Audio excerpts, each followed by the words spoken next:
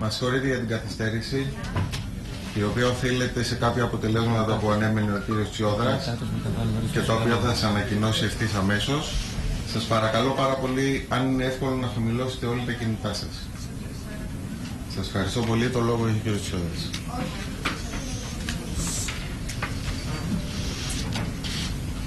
Όπως όλες τις επιδημίες, ναι, όπως σε όλες τις επιδημίες, η επιδημία του φόβου είναι η χειρότερη από την πραγματική επιδημία, έτσι.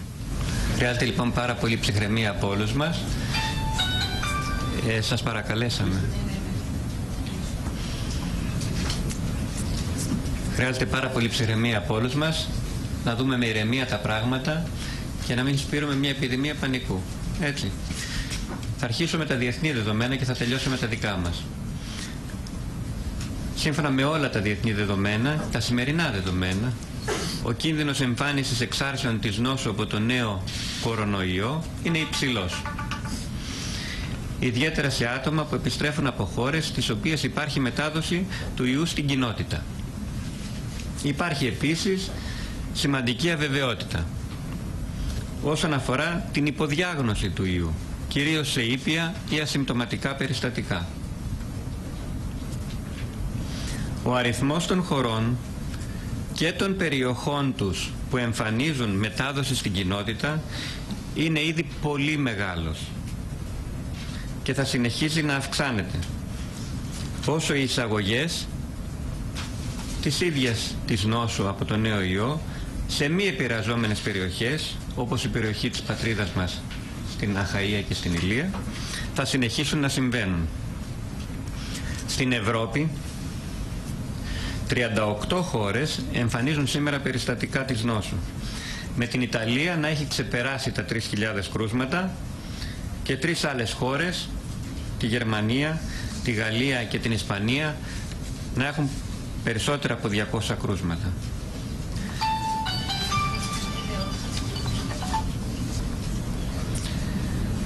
Σε περισσότερες από 80 χώρες του κόσμου, το ακούσατε καλά, είναι περισσότερες από 80 χώρες του κόσμου, έχουν καταγραφεί 96.000 κρούσματα. Θέλω να τονίσω εδώ ότι είναι πολύ περισσότερα τα κρούσματα. Τον αληθινό παρονομαστή δεν τον ξέρουμε και είναι δεκάδες, να μην πω εκατοντάδες φορές παραπάνω. Από τα 96.000 κρούσματα. Η δυνατότητα καταγραφής εξαρτάται από τη δυνατότητα ανείχνευσης κάθε χώρας. Και ξέρουμε με πολύ καλά δεδομένα πόσο χαμηλή είναι η δυνατότητα ανείχνευσης και καταγραφής της νόσου σε χώρες της Αφρικής και της Ασίας. Αυτή τη στιγμή όλη η Ευρώπη είναι σε μια επιδημική φάση πολλαπλών εισαγωγών της νόσου με επακόλουθο μετάδοση στην κοινότητα η οποία φαίνεται να είναι περιορισμένη στην πραγματικότητα δεν είναι και γρήγορα προχωράει σε ένα σενάριο όπου εμφανίζεται αυξημένος αριθμός τοπικών εξάρσεων και συνοχιζόμενης μετάδοσης στην κοινότητα από αυτές τις εισαγωγές. Σε αυτή τη φάση η μείωση και πρόληψη όσο το δυνατόν περισσότερης διασποράς θα μειώσει την ένταση και την αύξηση των παρατηρούμενων περιπτώσεων. Στόχος είναι αυτό που σας είπα πριν από λίγες μέρες, να επιπεδώσουμε την καμπύλη όσο μπορούμε περισσότερο, να διασπαρεί η μετάδοση και διασπορά της νόσου στο χρόνο, ώστε να ελαχιστοποιηθούν οι επιπτώσεις στο σύστημα υγείας μας και τυχόν κοινωνικο-οικονομικές επιπτώσεις το σύστημα υγείας θα κληθεί να αντιμετωπίσει έναν αυξημένο αριθμό ασθενών, όπως το κάνουμε κάθε χρόνο για την γρήπη. Είναι μια γρήπη στη συμπεριφορά της και στον τρόπο που θα συμπεριφερθεί στην κοινότητα. Οι επαγγελματίες υγείας είναι στην πρώτη γραμμή. Αντιμετωπίζουν τον νέο ιό από εκεί και παραμένουν σε επαγρύπνηση για αναγνώριση πιθανών περιπτώσεων της νόσου και σε πρώιμη αλλά και σε προχωρημένη φάση, ώστε να λαμβάνονται όλα τα κατάλληλα προληπτικά μέτρα. Αυτό έγινε και χθες στην Αχαΐα, όπου αναγνωρίστηκε περίπτωση της νόσου, χάρη στην επαγρύπνηση της εξαιρετικής ομάδας λοιμοξιολόγων και παθολόγων του Πανεπιστημιακού Γενικού Νοσοκομείου Πατρών, σε μια ομάδα εκδρομέων προς κινηματικής εκδρομής στο όρο Σινά και τους Αγίους Τόπους. Να τονίσω εδώ ότι το Ισραήλ ήταν από τις χώρες με λιγοστά κρούσματα στα οποία δεν υπήρχε μετάδοση της νόσου στην κοινότητα. Σε εισαγωγικά δεν υπήρχε. Η ομάδα αυτή επέστρεψε από το Ισραήλ στις 27 Φεβρουαρίου 20, του 2020 όταν το Ισραήλ, όπως σας είπα, δεν ήταν στον ορισμό κρούσματος της Ευρώπης. Αυτό δείχνει τη δυναμική του ιού να ξεπερνά τα σύνορα και κουβεντιάστηκε εκτενώς χθες το βράδυ και σήμερα με συναδέλφους από το Ευρωπαϊκό CDC σχετικά με την δυναμική αυτού του ιού ο οποίος μεταδίδεται εύκολα, συνεχίζει να μεταδίδεται εύκολα, δεν είναι πιο θανατηφόρος, δεν έχει δύο μεταλλάξεις και δύο ποικιλίες η οποία είναι πιο θανατηφόρα η μία από την άλλη, όπως ακούγεται το τελευταίο 24ωρο, και μεταδίδεται και από άτομα που έχουν ελαφρά συμπτωματολογία. Είναι σημαντικό να το κατανοήσουμε αυτό. Μεταδίδεται από άτομα που έχουν ελαφρύ συμπτωματολογία. Οι περιπτώσεις με ελαφρά συμπτώματα είναι πολύ άριθμες και πολλές φορές δεν γνωρίζουν ότι μεταδίδουν. Κάποιοι από αυτούς μάλιστα αναζητούν και ιατρική φροντίδα και μπορεί να μολύνουν και επαγγελματίες υγείας. Όπως ακριβώς και με τη γρήπη. Τα κύρια μέτρα, το έχουμε πει πολλές φορές, πρέπει να το ξαναπώ.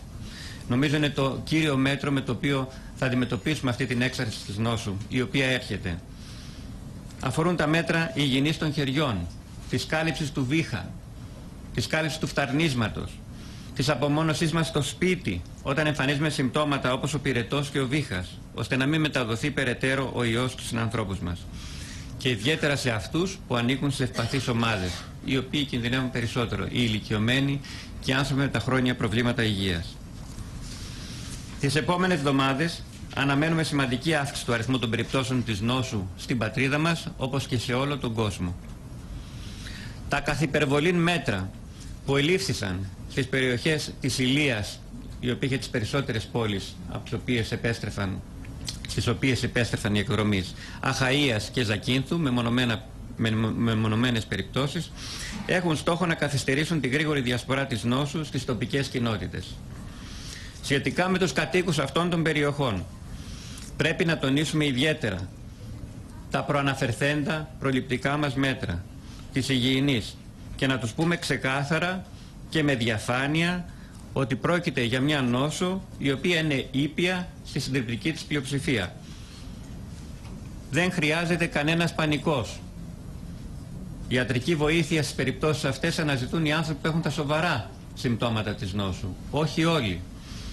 Ήδη σε συνεννόηση με την πανεπιστημιακή ομάδα του νοσοκομείου Πατρών άνθρωποι οι οποίοι θα έχουν ήπια συμπτώματα από αυτή την ομάδα των εκδρομέων και θα είναι θετικοί στον ιό, με τις κατάλληλες οδηγίες από τον Εθνικό Οργανισμό Δημόσιας Υγείας, θα παραμένουν σε παρακολούθηση στο σπίτι, σε συνεννόηση με τον γιατρό τους, όπως θα γίνεται και στη συνέχεια.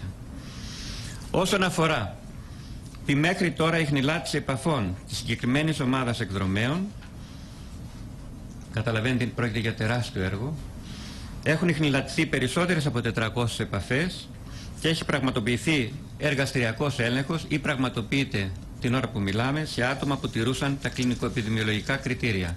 Αυτός ο έλεγχος συνεχίζεται και πάλι στοχεύει σε κάποια παροδικά μέτρα, αλλά τα κύρια μέτρα θα είναι αυτά που σας ανέφερα.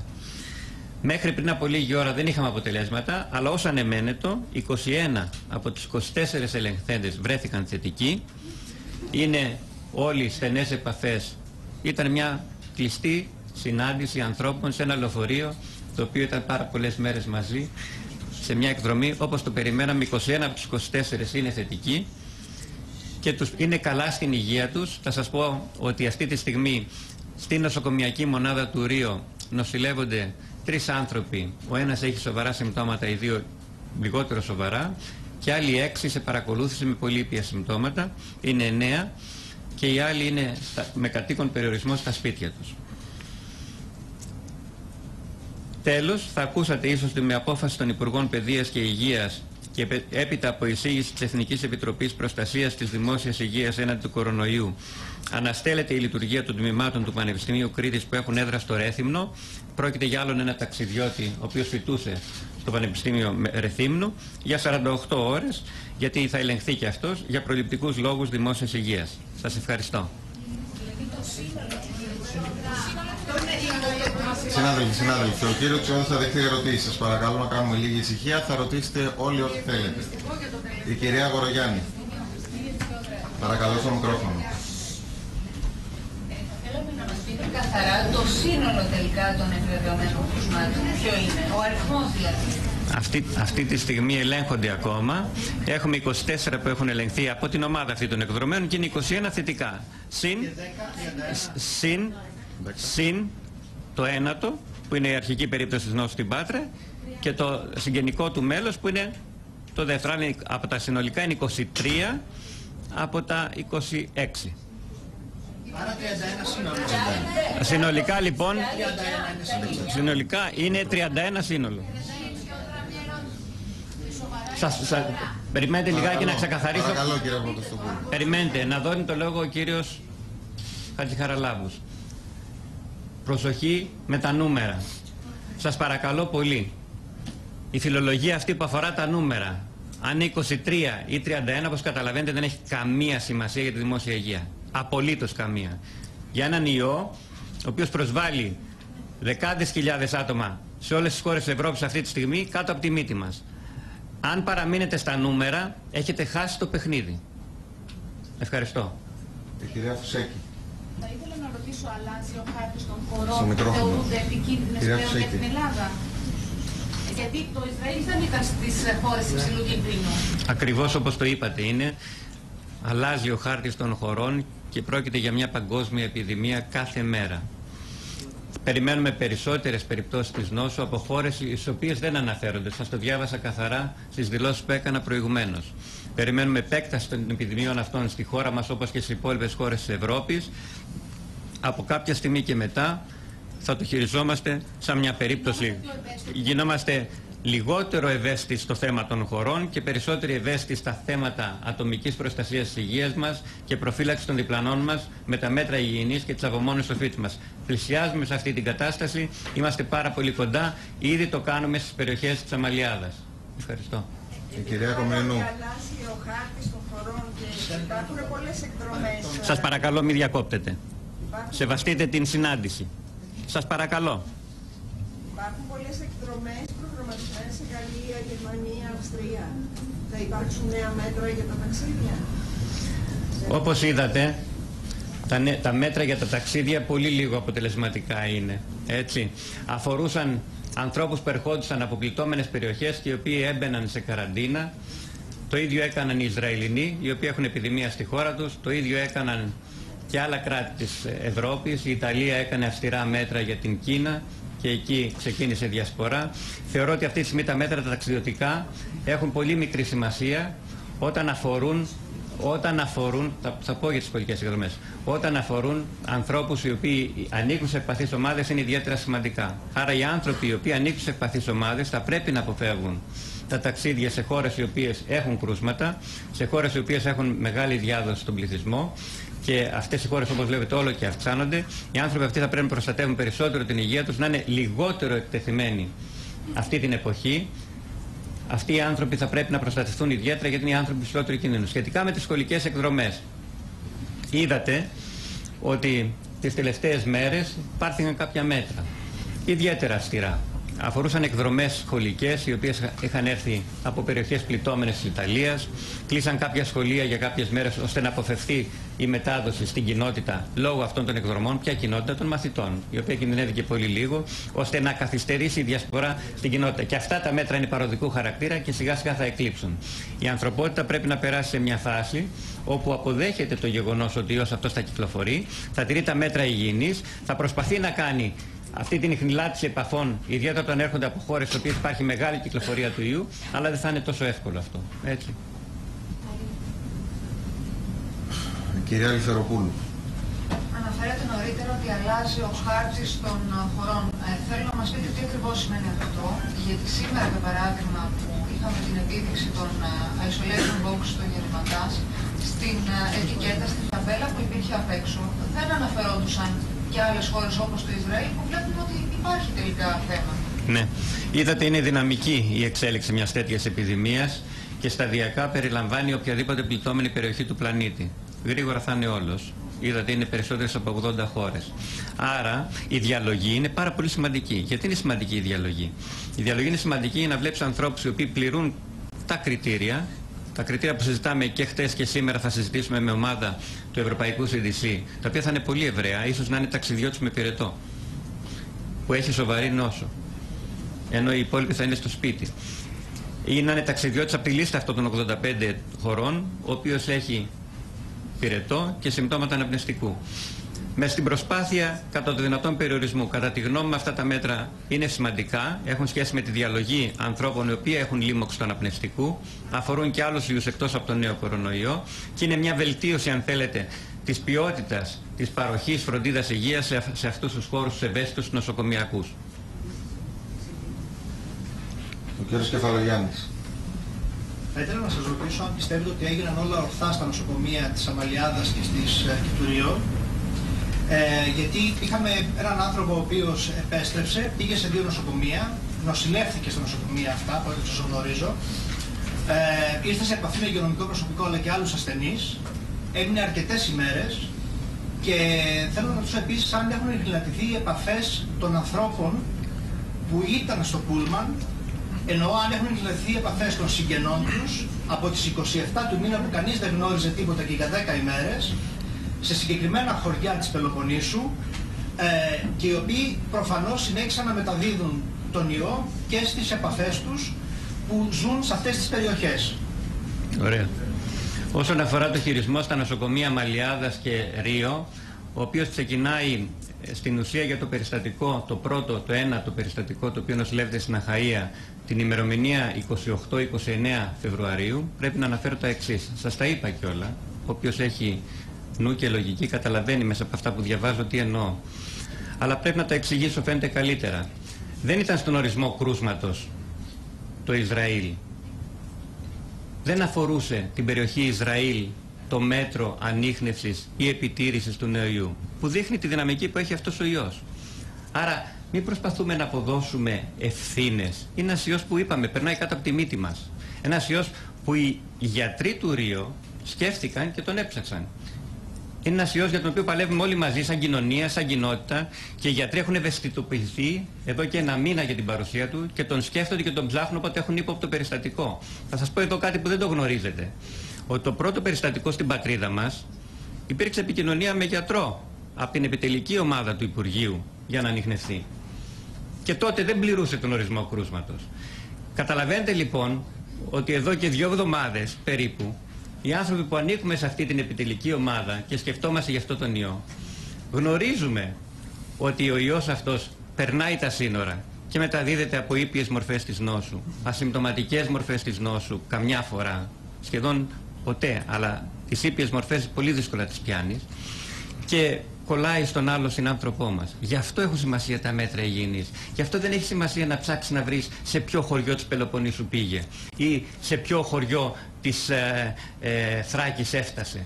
Πρέπει να τηρήσουμε όλοι τα μέτρα υγιεινής όσο μπορούμε πιο αυστηρά, να απομονωνόμαστε στο σπίτι αν έχουμε συμπτώματα όπως πυρετός και βήχας, είναι τα δύο κύρια συμπτώματα του νέου ιού και να αναζητούμε ιατρική βοήθεια αν είμαστε πολύ σοβαρά. Θα το κάνουμε από τώρα σε όλη την Ελλάδα, είναι ευκαιρία να το κάνουμε ούτως ή αλλιώς.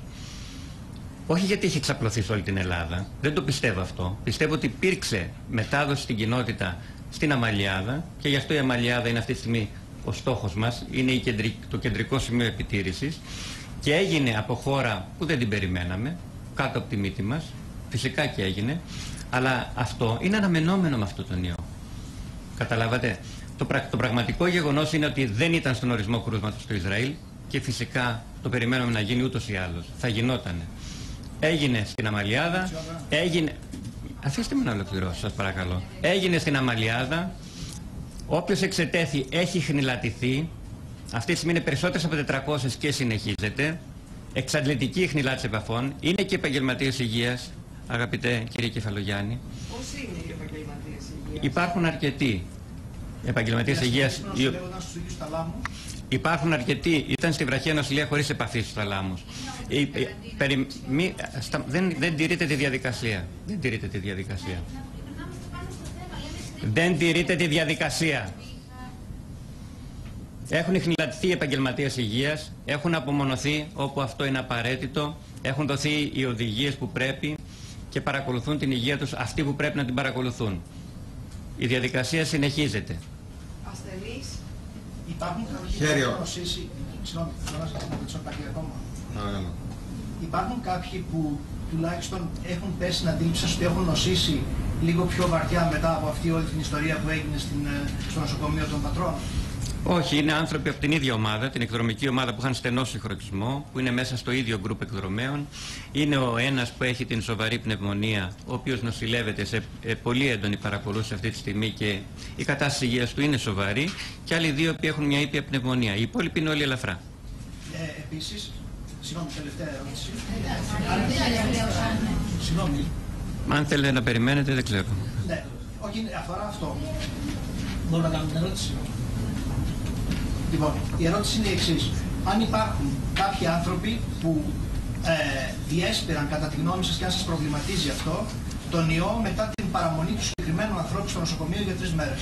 Δεν φαίνεται να ισχύει αυτό. Με τα μέχρι τώρα δεδομένα, τα κλινικο-επιδημιολογικά, το παρακολουθούμε. Είναι οι άνθρωποι αυτοί έχουν καταγραφεί, είναι σε μια database μεγάλη, τους παρακολουθούμε μέρα με την ημέρα και είμαστε σε επικοινωνία μαζί τους. Είναι μια, ένα εξαντλητικό contact tracing, η χνηλάτηση επαφών, η οποία τις επόμενες μέρες θα μας δώσει περισσότερες απαντήσεις στο ερώτημά σας. Βεβαίως έχετε δίκιο, αλλά σας λέω και πάλι, βλέπετε ότι η Ιταλία, παρά το γεγονός ότι κάνει δρακόντια μέτρα, να το πω αυτό είναι, και ευχαριστώ για την ευκαιρία, παρά το γεγονός ότι κάνει δρακόντια μέτρα, τα οποία αφορούν πόλεις ολόκληρες σε καραντίνα, την οποία δεν συστήνει. Δεν συστήνει ο WHO. Δεν τη συστήνει. Κάνουν τρακόντια μέτρα σε πέντε μεγάλες πόλεις και εξαπλώνεται σε όλη την Ιταλία. Καταλαβαίνετε.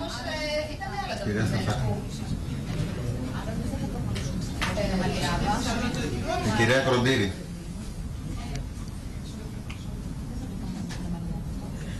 Υπάρχουν κάποιες καταγγελίες από το πρόεδρο των εργαζομένων Α, ε, υπάρχουν καταγγελίες από τον πρόεδρο των ε, νοσοκομιακών γιατρών κάτω στην Αγγλία ότι είχαν επικοινωνήσει με τον ΕΟΔΗ τρει φορές και δεν ε, τους έδωσαν εντολή, τους λέγανε μπορεί να είναι πιθανό κρούσμα και τους έλεγε όχι, μην κάνετε την εξέταση. Αυτό είναι κάποιο πρόβλημα, είναι τρύπα στο σύστημα. Γιατί... Ναι, ναι. Όχι, δεν είναι τρύπα στο σύστημα, ούτε πρόβλημα. Οι γιατροί οι άνθρωποι που δούλευαν εκεί στα τηλέφωνα οδήγησαν με βάση τις οδηγίες και δείχνει αυτό που σας είπα για τον νέο ιό. Ότι ο ιός αυτός θα διασπαρεί ό,τι μέτρο και να κάνεις, ό,τι μέτρο και να πάρεις. Δεν μπορείς αυτή τη στιγμή να βάλεις σε καραντίνα 86 χώρες σε όλο τον κόσμο. Είναι αδύνατον. Πρέπει να τον σκέφτεσαι, ιδιαίτερα στα σοβαρά περιστατικά και ήδη έχει ξεκινήσει σύστημα επιτήρησης για τον ιό στα σοβαρά περιστατικά και πρέπει να τηρείς με θρησκευτική ευλάβεια σαν πολίτης τα μέτρα υγιεινής που δεν τηρήθησαν και από πολλούς συμπατριώτες μας εις ένδειξη, ε, ένδειξη αγανάκτησης κατά κάποιο τρόπο για, τα, για κάποια από τα μαζικά μέτρα, τα καθυπερβολή που ανακοινώθηκαν την προηγούμενη εβδομάδα. Θα σας πω εδώ κάτι που είναι πολύ σημαντικό.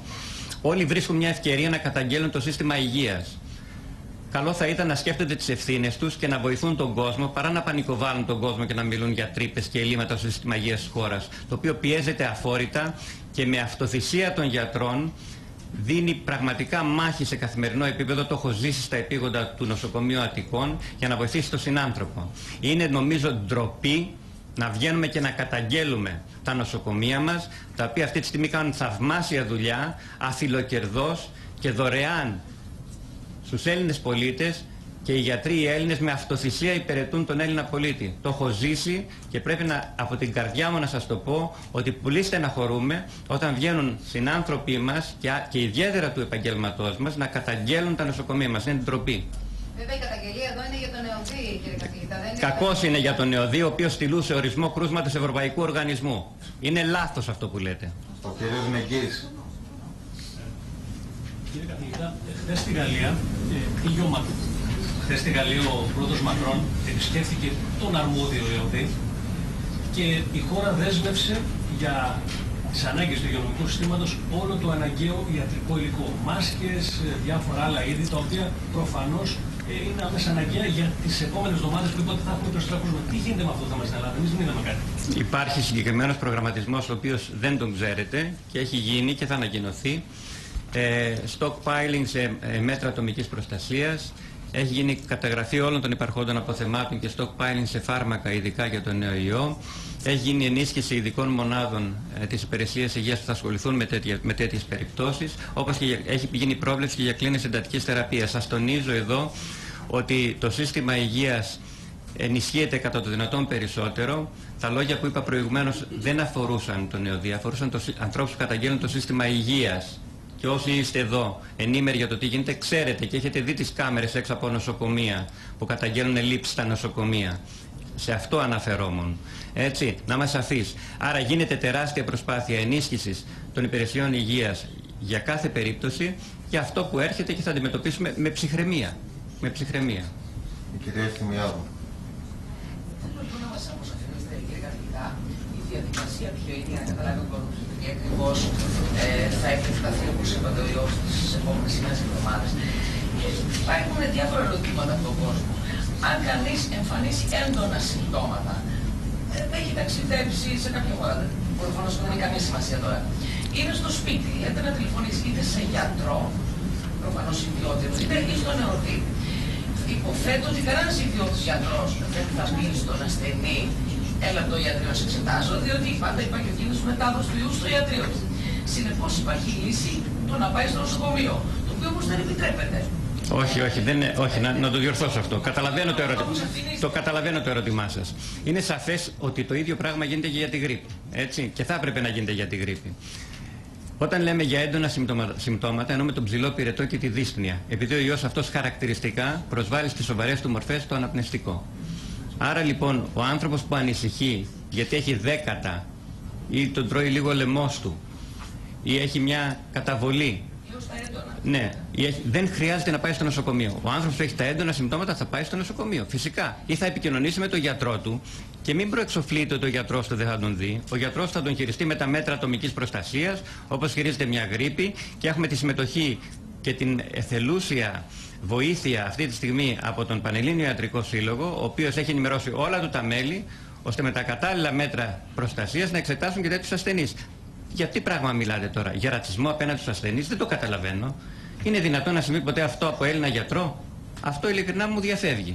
Εργαστηριακά, κύριε καθηγητά, μπορείτε να μου διευκρινίσετε λίγο, πού μπορεί να ελεγχθεί κανείς, γιατί από ό,τι λένε τα στοιχεία του ρεπορτάζ, υπάρχει μια πολύ μεγάλη αναμονή στα νοσοκομεία. Θέλει κανείς να διαπιστώσει αν έχει τον, τον ιό. Μπορεί να γίνει αυτό, γιατί νομίζω η παραπομπή γίνεται και σε ιδιωτικά νοσοκομεία, δεν κάνω λάθος, αλλά οι πολίτες εκεί πληρώνουν. Να πω εδώ κάτι το οποίο είναι πολύ σημαντικό. Η εργαστηριακή ανείχνευση του ιού, όσο περνάει ο καιρός, θα γίνεται μόνο στα σοβαρά περιστατικά. Και όχι στα ελαφρά περιστατικά. Έτσι κάνει όλος ο κόσμος. Ήδη στην Ιταλία και σε άλλες πληττόμενες περιοχές με πολλαπλά κρούσματα, εκατοντάδες κρούσματα, ο έλεγχος γίνεται μόνο στα σοβαρά περιστατικά και ακόμα και εκεί, βλέπε παράδειγμα Κίνα, Υπήρχαν περιστατικά που τεκμηριώνονταν μόνο με πυρετό και πνευμονία, χωρίς καν εργαστηριακό έλεγχο. Η αδυναμία του συστήματος επιτήρησης με εργαστηριακό έλεγχο δεν σημαίνει κατά ανάγκη ότι χάνεις το παιχνίδι με τον ιό. Όταν τηρείς τα μέτρα που είπαμε και καθυστερείς τη διασπορά και εξάπλωσή τους στην κοινότητα, επιτυχάνεις ακριβώς το ίδιο αποτέλεσμα ανεξαρτήτως του αν ξέρεις ή όχι αν έχεις τον ιό. Δεν είναι τόσο σημαντικό να ξέρεις αν έχεις ή όχι rhinovirus, ο ρηνοϊός που κάνει την καταρροή, RSV, ο αναπνευστικός συγκητιακός ιός που κάνει την προχειολίδα στα παιδάκια, para-influenza, ο ιός που κάνει αυτή τη φοβερή λαριγκίτιδα και δεν μπορούν να αναπνεύσουν καμιά φορά τα μικρά, ή μεταπνευμονοϊό, μιλάει κανένας σας γι' αυτό;